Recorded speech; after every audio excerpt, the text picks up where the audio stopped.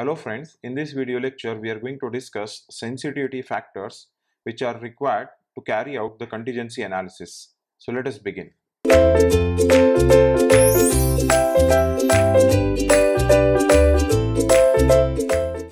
So friends, in our previous lectures we have discussed contingency analysis.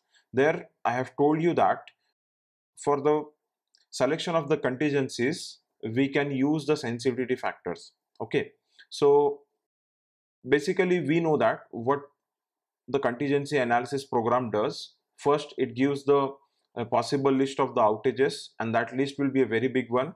So it will be very difficult to analyze all those possible outages because that way it will consume the more time. Okay. But we have to run the security function very quickly because we need to provide time for the operator to decide the action plan as well. Okay. So for that what we can do is instead of evaluating all those possible outages let us select some of those outages which will be more severe okay? And let us analyze them only okay? So for the selection of those contingencies which will be more severe we can use these sensitivity factors okay? So let us discuss how these sensitivity factors are useful.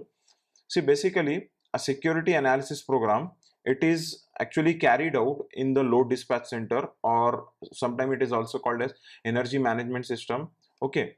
Or again it can be also called as the control centers okay? So it has to be run in that center very quickly in order to help the operator okay? If we get the quick result then we can inform the operator if there any severe violations are going to be there.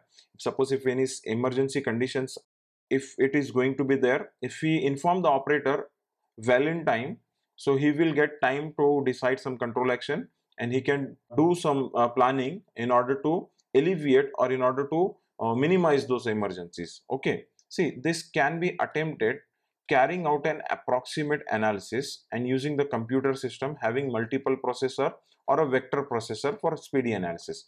Okay. So this is the instrumentation thing. Okay computer using the multiple processor or a vector processor those computers will have the fast analysis okay or they are having the fast processors okay. Again here we are using a approximate analysis okay. We are not going to do the exact analysis okay. So here the system may be adequately described in an equivalent okay and that should be useful for the neighbors connected through the tie lines as well okay the system whatever we are going to use to do this security analysis program it should be described okay? And in its equivalent should also be described okay? Because uh, what we do we have seen that area controlling okay? So particularly suppose for one area if we are doing this security analysis program so when we are doing this we should take care of the areas which are neighbor to our area and if suppose if that areas if they are connected through the tie line then we consider the equivalent of the other areas while performing the security analysis program. Okay. So for that the system modeling or the system description should be adequately done. Okay. Again we can eliminate all the non-violation cases and run complete exact program for critical case only. As i said from the list whatever we will get that possible outages okay? From that definitely some outages will not result into any violation okay? So we can eliminate such violations okay? We can eliminate such outages and we can run the same exact program for critical cases only where the severity will be more okay? Where emergency condition may arise so we can run the program only for such cases okay so this can be achieved using the techniques such as contingency selection. Okay, we need to do the selection. Okay, we need to decide which contingency is going to create the critical condition or which contingency is going to introduce the emergencies in the system and which contingency and which contingencies are not going to introduce any violations okay so accordingly we can bifurcate them and we can consider only the contingencies which are severe or which are problematic for the system. Okay so for that we are using such techniques such as contingency selection or contingency screening or contingency ranking. Okay see thus it will be easy to warn the operating staff in advance to enable them to take corrective action if one or more outage will result in serious overload or any violation. Okay if suppose from that contingencies if one or more contingencies if they are going to create serious outage or serious violation then we can inform the operator well in time okay so that they can take the corrective action okay. One of the simplest way to present quick calculation of possible overload is to employ the network sensitivity okay. So here the simplest way of presenting the quick calculation of possible overload uh, we can do by employing the network sensitivity factors. Okay so these factors actually what they do they give the approximate changes in the line flow for change in generation okay in the system and can be calculated from dc load flow. Okay see if suppose if there is a change in the generation so definitely the line flow will change.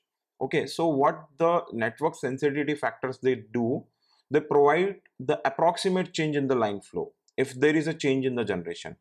Again it can provide the change in line flow if there is a outage in any of the line okay? So based on that we have two types of the sensitivity factor okay? So the first one it is the generation shift factor and the another is the line outage distribution factor okay we will discuss this one by one what is generation shift factor and what is line outage distribution factor. First let us discuss the generation shift factor. Okay see briefly we shall describe here these two factors without driving them. Okay we are not going to do any derivation part here. Okay see basically the generation shift factor that is nothing but the alpha li. Okay are defined as this alpha li it is defined as it is the ratio of delta FL divided by delta PGI. Okay, what is the meaning of this? What is the delta FL? It is nothing but change in megawatt power flow on Lth line. When change in generation, that is the delta PGI, take place on ith bus. Okay, generator will be connected on the bus. So whatever change in generation is going to be occur at ith bus and because of that change in generation what is the change in the power flow? That is the megawatt power flow on Lth line that is given by this delta FL okay here it is assumed that that change in that generation on ith bus is fully compensated by an equal and opposite change in generation at slack bus. Okay definitely. If suppose if you are providing a constant load and for that constant load if suppose if there is a change in generation on any of the bus then we need to compensate it okay in either way. If suppose if it is increasing the generation or if there is a decrease in the generation so accordingly we need to compensate it because we need to supply the load which is a constant okay. So that compensation basically uh, it is done with the help of the generators or the generator which is connected at the slack bus okay. And with all other bus uh, generator remaining fixed at their original power generation. Okay. So now the factor that is alpha li gives the sensitivity of Lth line flow to change in generation at ith bus. Okay. See if suppose if there is an outage of the generator which is connected at ith bus then what will be the change in the megawatt power flow on Lth line we will get it with the help of this factor called uh, alpha Li or generation shift factor. Okay, here we are getting the approximate value. How we are getting the approximate value? Let us discuss that. Okay, let us consider that the outage of ith, ith unit, okay, there is outage of the generator on ith unit and that outage or that loss of the generator is taken by the generator which is connected at the slack bus.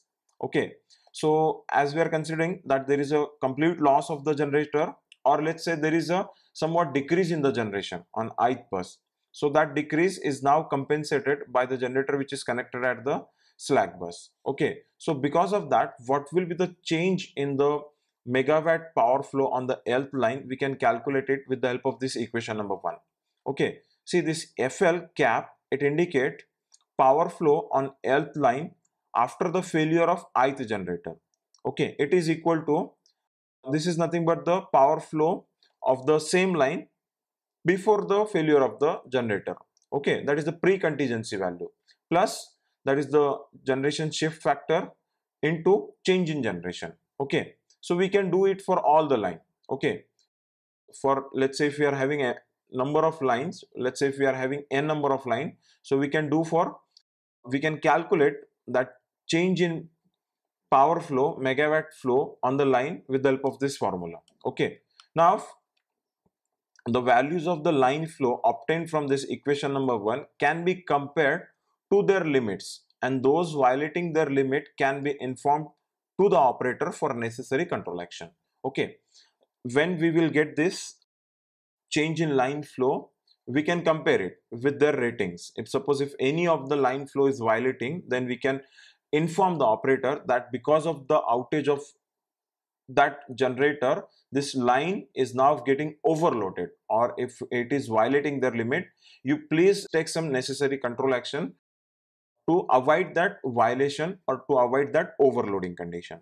Okay again this generation shift sensitivity factor are linear estimate of change in line flow with change in the power at the bus. Okay thus suppose we are consider the outage at ith only at one bus okay? We have considered only at ith bus okay? If suppose if there is outage at multiple buses then in that case how we can do that? How we can analyze that? Then we can take the help of that principle of the superposition okay? Consider outage one by one and calculate their effects and at the end club all those effect and the result we can compare again with the limits of those line. If any violation will be there inform the operator. If no violation no need to inform the operator. Okay this is how we can do the we can take the help of the generation shift factor or the generation shift sensitivity factor. Okay again the second one which was the line outage distribution factor. Okay for that let us assume that the loss of the ith generator okay as i said let us first complete this uh, that is the outage of the multiple generator. Okay in that case how we can do that? Because we have seen the formulas for outage of one generator only for multiple generator. Let us assume that the loss of ith generator is to be made up by the generation action on all the generators okay of the interconnected system picked up in proportion to their maximum megawatt rating. Okay suppose there is a loss of the generator at ith bus now that loss is been going to take up by all the generators which are connected in that interconnected system. Earlier we have considered that loss it will be taken care by the generator which is at slack bus. Now let us consider that that loss will be taken care by the all the generators which are there in that interconnected system and that uh, pickup will be in proportion to the maximum rating of that generator.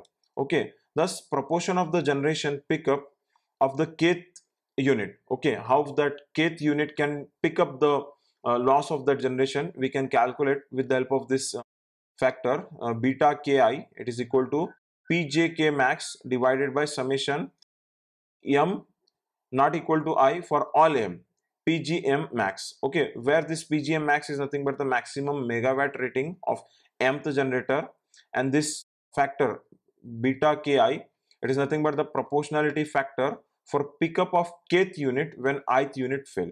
Okay, so with this how we can calculate the change in the line flow. Okay, now for checking the lth line flow we may write this is the changed value. Okay, and this is the line flow pre-contingency or before the fault.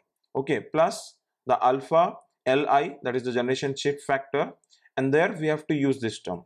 Okay because now we are considering the loss is going to be taken up by all the generators. Okay so in that case we can calculate the change in the line flow with the help of the second equation. Okay and same thing we can repeat. Check for the violation. If any violation or overloading is there we can inform the inform operator. Okay similarly the line outage distribution factor it can also be used for checking the line overload when some of the line are lost okay when there is a loss of the line when there is an outage on the line then definitely other line will get overloaded. Okay so that we can check with the help of this line outage distribution factor. Okay how we can use this line outage distribution factor? Basically it is given by this formula DLI okay D is indicating line outage distribution factor. Okay is equal to delta FL divided by F naught I where this DLI it is line outage distribution factor when monitoring Lth line after an outage of ith line. Okay when there is a ith line outage is there we are going to check the overloading of Lth line. Okay so that is given by this factor. This delta FL is nothing but change in megawatt flow on the Lth line and this F naught I is nothing but the pre-contingency line flow on ith line. Okay now if the pre-contingency line flow on lines L and I the power flow on the line L with line I out can be found out by employing this D factor. Okay, if we know the pre-contingency flows on line L and I, okay, now if there is a outage of ith line, then the power flow of Lth line can be found out by employing this distribution factor, okay, line outage distribution factor. See this uh, FL cap, it gives the line flow of Lth line with ith line outage and DLI it is the line outage distribution factor and F naught I is nothing but the pre-contingency or pre-outage on Lth and ith line respectively. Okay, now with this one can quickly check by calculating D factor for all the lines for overloading for outage of a particular line. Okay, if suppose if there is outage of particular line one can easily check quickly all the lines for overloading with the help of this distribution factor. Okay. Line outage distribution factor. Okay. This can be repeated for outage of each line one by one and overload can be found out for the corrective action. Okay. We can do this thing repeatedly for outage of each line. Okay and in that way we can find out the overload. And if any overload is found then we can decide the control action or we can decide the corrective action. Okay here it may be noted that the line flow can be positive or negative. Hence we must check f against negative f max as well as the positive f max. Okay that is the line flow capacity. Okay line flow can be found out using the telemetry system or with state estimation technique. Okay. Because in the beginning only while discussing the power system security I told you that for monitoring the quantities of the power system we are either using the telemetry system or we can take the help of the state estimation technique as well. Okay. If the network undergo any significant structural change the sensitivity factors must be updated. Okay. So if suppose if there is a any significant structural changes there in the network then according to the structural changes in the network the sensitivity factors of the networks must also be updated. Okay so this way these two factors are helpful in selecting the contingencies. Okay thank you very much